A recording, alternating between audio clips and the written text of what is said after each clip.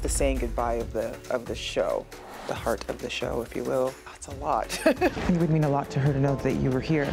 Transplant's big funeral scene gets us right in her feelings, especially when series original John Hannah, aka former York Memorial Chief Dr. Jed Bishop, returns to pay his respects to his mentee, Mags. Your daughter was remarkable. The best of all of us. To have John back, I, like, I, there's no real words for it. It's nice to see my buddy again. and in true medical drama fashion, the show also wraps up their version of Dr. Doug Ross and Nurse Carol Hathaway's love story with Dr. Bishop and Nurse Claire. I wish I had eyelashes on right now and I could bat them. it was nice that, that we had a mature kind of pass on what people at our age are doing as well.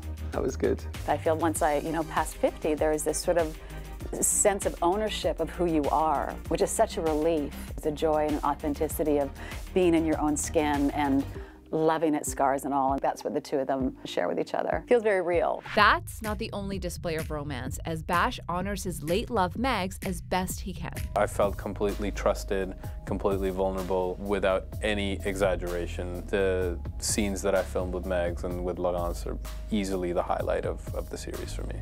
And yet, life goes on and it's never too late to start again. As for Laurence herself, she does not appear on screen to bid adieu, but somehow she keeps the send-off all in the family. I didn't want to show up at my funeral because like it's very emotional like and so want to know a really funny fun fact about yes. that yes tell me the man who played the priest at my funeral uh-huh. is my dad stop yep isn't that wonderful Your dad had to go my dad. And so my dad called me and he was like, hey, they just offered me this part, but uh, I don't know if I want to do it. It's weird. And I'm like, Dad, it's just a role. It's just a role. Do it.